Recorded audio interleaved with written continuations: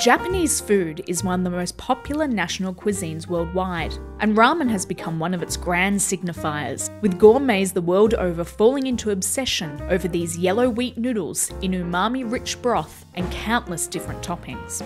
One of Japan's first industrialised foods, ramen became first a staple dish accessible to everyone with the advent of instant noodles, and then as a speciality honed to perfection by ramen chefs and a uniquely and proudly Japanese food. Not bad for a dish that actually has its origins in China.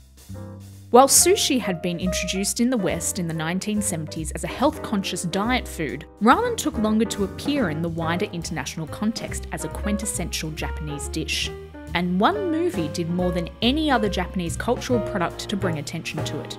Juzo Itami's 1985 noodle western Tampopo.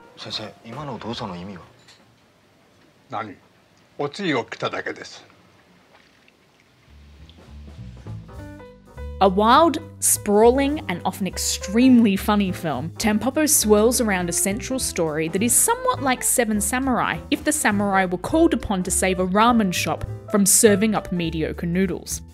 Upon Tampopo's release beyond Japanese shores, foreign viewers didn't quite know how to discuss nor had context for its noodle fixation.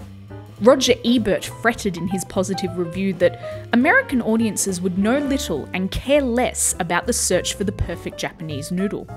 But Ebert was also correct in his summation that many audience members would be carried away by the film's weird logic and glorious detailed attention paid to food as an almost divine experience.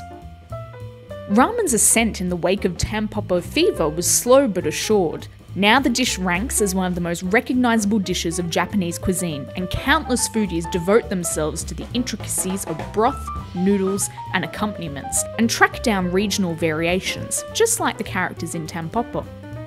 One of the first traditional ramen shops to open in New York City was even named Rai Rai Ken after the original name of Tampopo's ramen stand.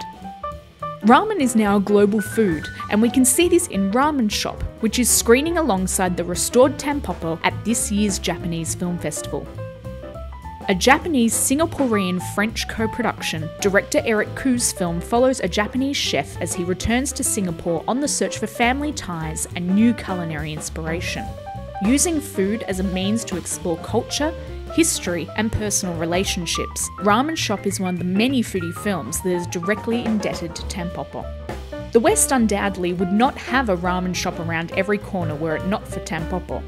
And for that, we should all be taking the delicate time to slurp our noodles while looking affectionately at the pork in thanks.